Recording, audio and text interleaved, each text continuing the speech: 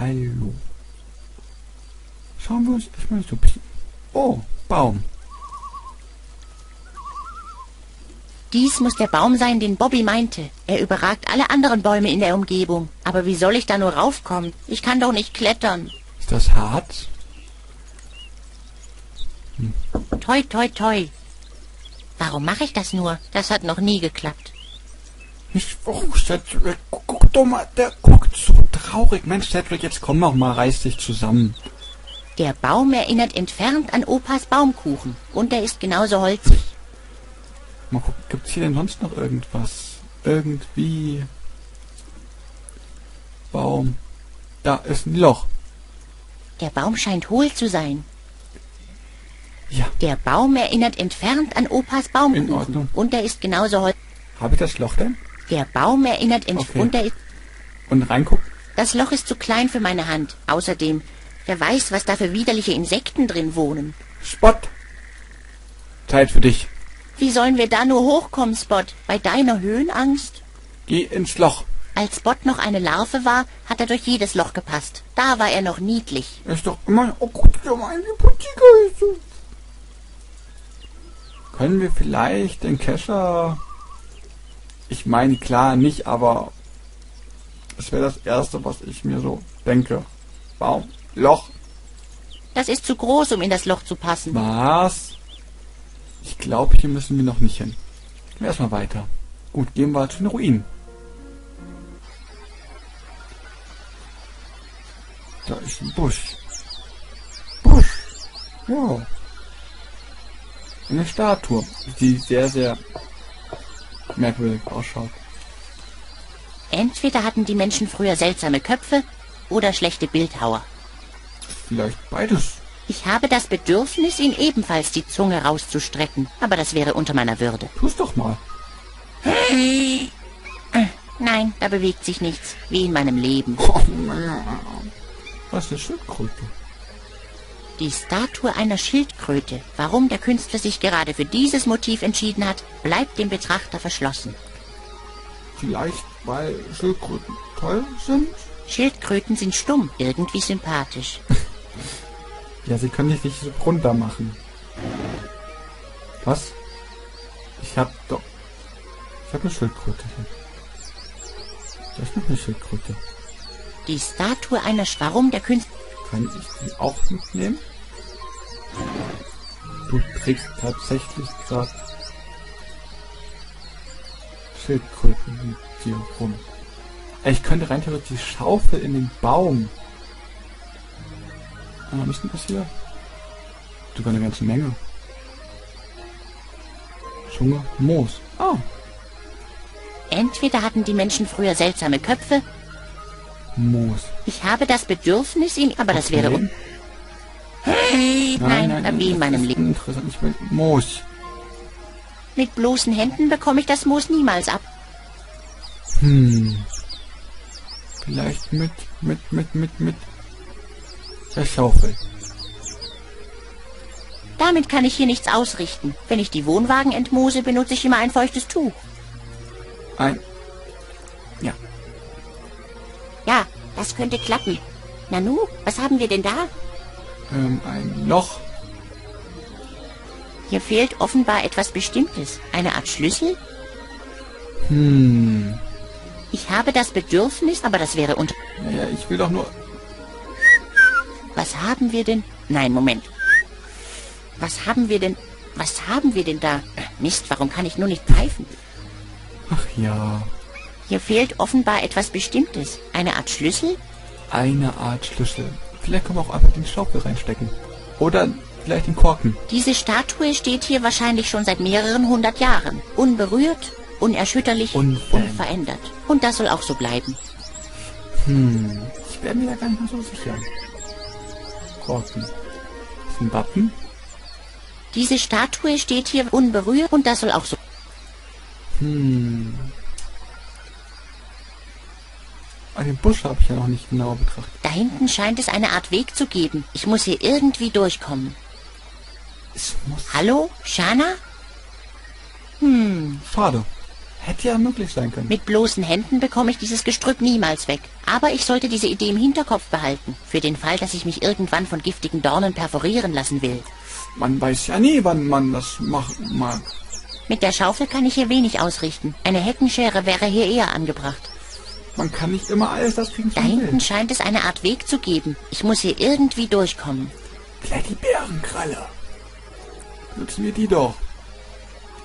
Ich schleppe so viele Sachen mit mir rum, aber ich habe scheinbar nichts, was mir hilft, hier durchzukommen. Ich glaube, hier sind wir auch wieder so ein bisschen ratlos, was das angeht. Nebenan hier ist auch nichts. Da unten, da unten, da unten ist nur der Weg. Und hier möchte ich ganz kurz mal ausprobieren, ob ich die Schaufel vielleicht da reinstecken kann, in den Baum. Also in das Loch. Cedric, magst du mal bitte die Schaufel, dann können wir da vielleicht da hochklettern. Das wäre so eine Idee. Das ist zu groß, um in das Loch zu passen. That's what she said. So nach dem Motto, ne? Ja, okay, der war, der war, der war flach. Der war flach, der war nicht gut rübergebracht. Hm. Erstmal so versuchen, umzugucken. Da ist eine Schüssel. Ja, das ist doch immerhin schon mal ein Totem.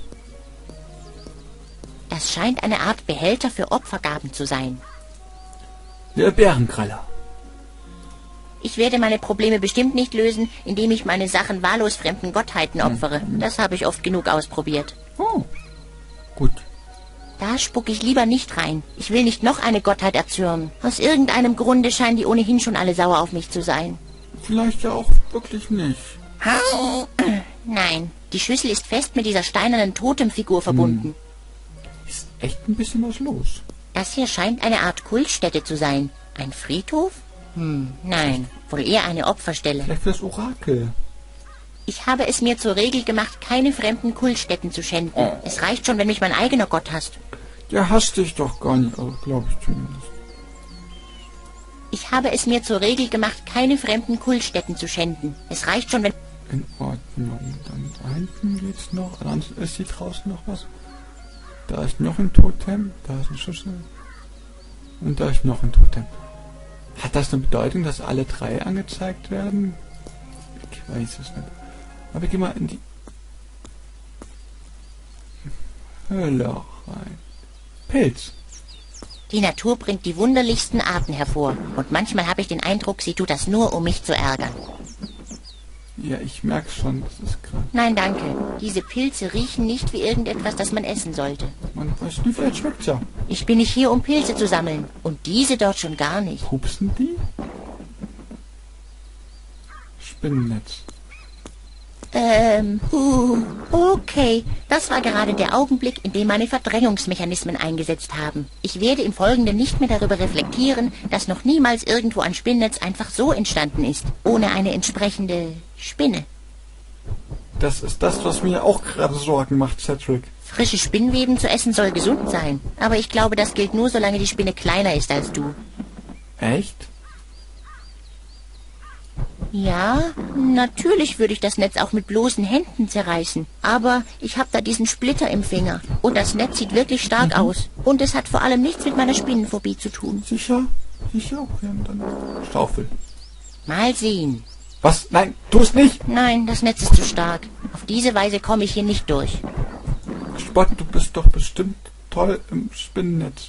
Tja, Spot, der Weg ist versperrt. Was soll's? Wahrscheinlich müssen wir hier sowieso nicht durch. Was? Ich bin nicht feige. Ich blicke nur etwas tiefer in die Bedenkenkiste als andere. Vielleicht Pilz? Spot ist gut im Pilze suchen. Dummerweise frisst er sie immer alle selbst auf. Sonst noch irgendwas? Außer da Pilz, da Pilz, da Pilz. Kann ich irgendwas mit den Pilzen? Ich, vielleicht kann ich die irgendwann anzünden.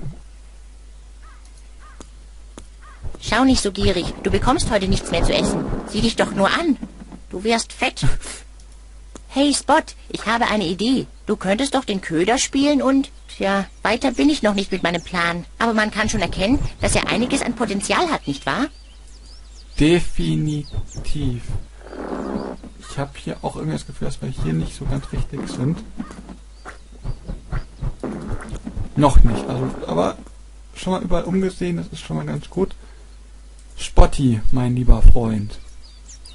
Magst du nicht als... Hm, das könnte klappen. Was? Nein! Was?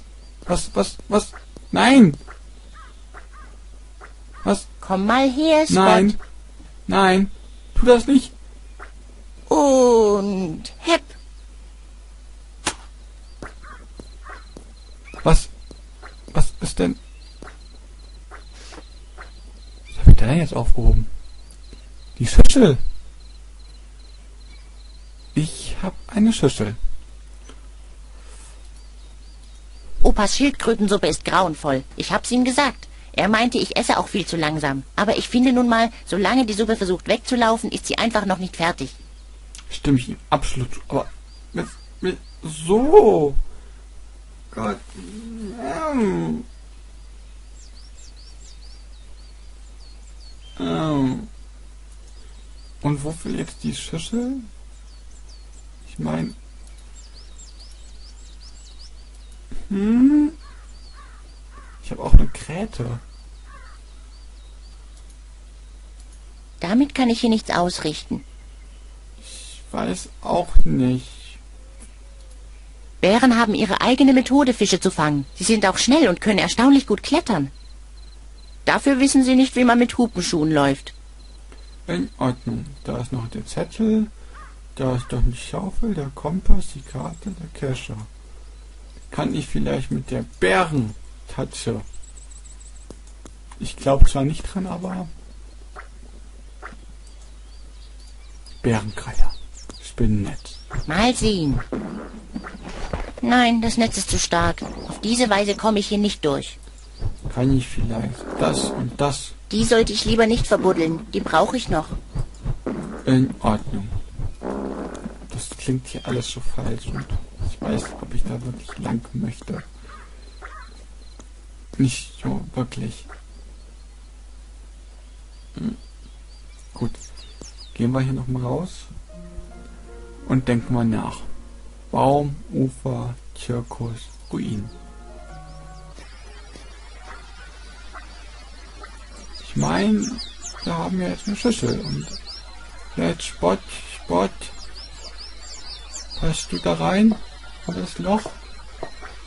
Vielleicht? Sieh mal, Spot, was ich hier gefunden habe. Hey, Spot, hier spielt die Musik. Busch?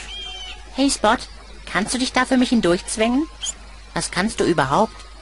Ist aber süß. Ähm, ja. Das ist immer noch voll. Eine Schüssel, vielleicht kann ich die hier ins Loch. Ich glaube zwar nicht, aber Das passt hier nicht. Hier fehlt offenbar etwas Bestimmtes. Eine Art Schlüssel? Hm. Ich meine, ich habe zwei Schildkröten. Ich, ich will mal etwas anderes ausprobieren. Dafür muss ich allerdings zurück zum Zirkus. Also, Zirkus. Hallo. Bin wieder da. Falls sich jemand interessiert. Spotty, mein lieber Freund. Magst du vielleicht die Kerze? Spot hat keine Angst vor Feuer. Er hat vor kaum etwas Angst. Ich glaube, ihm fehlt die Fantasie. Dann, Spot hat, er hat vor kaum, ich glaube, ihm fehlt, dann vielleicht normal werden? Spot, Kerze. Spot hat keine Angst vor Feuer. Ich glaube, ihm fehlt, Okay, schade. Hätte sein können, dass ich dann irgendwie... Weil ich kann mir vorstellen, dass man irgendwie das Feuer da entzünden kann. Opi, was sagst du der Schildkröte? Wann machst du das nächste Mal Schildkrötensuppe, Opa? Sobald ich dazu gekommen bin, den Topf zu desinfizieren. Wieso? Nur so. Ich brauche halt noch ein Alibi für den Tag. Okay, was sagst du dazu, Ben? Sammelst du schon wieder Krempel? Lass mich damit in Ruhe. Du siehst doch, dass ich alle Hände voll zu tun habe. Ja, Bruderherz.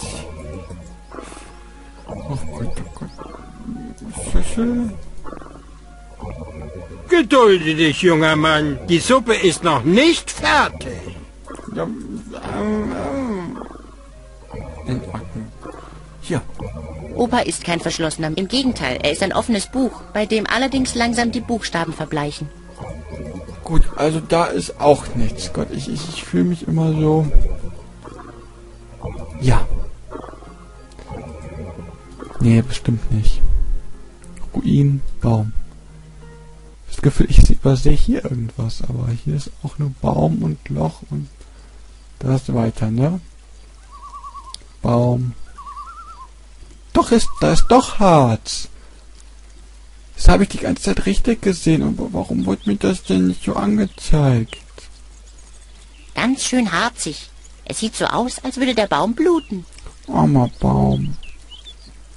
Nein, seit Opas letztem Harzer Leberkäse habe ich erst einmal genug von Harz. Mein Bauch fühlt sich noch immer ganz klebrig an. So, Mit bloßen Händen bekomme ich das Harz da garantiert nicht runtergekratzt. Alles, was ich bekäme, wären klebrige Finger. in Ordnung. Dann eben das übliche. Bärenkralle. Hm, daraus ließe sich vielleicht etwas konstruieren. Aber erst einmal müsste ich das Harz vom Baum abbekommen. In Ordnung. Schaufel. Damit kriege ich das Harz nicht ab. Ich würde mir nur die ganzen Taschen verkleben. Ich bräuchte eine Art Gefäß. Eine Art Gefäß. Schatulle. Mit dem Kästchen bekomme ich das Harz nicht vom Baum. Ich bräuchte ein besseres Gefäß. Ein besseres Gefäß. Eine Schüssel.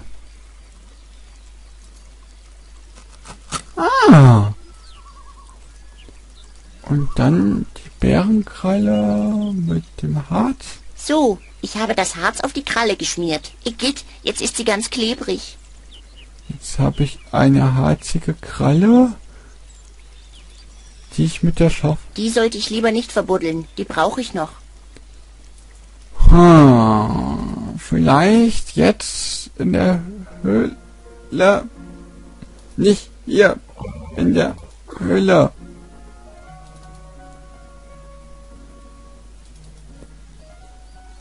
Ich meine, man weiß ja nie. Aber vorher bis zum nächsten Mal. Gott, ich hoffe, es hat euch soweit gefallen. Wir haben hier ein bisschen was geschafft. Also auf Wiedersehen. Bye bye und tschö tschö. Bis dann, Cedric. Bist niemals allein.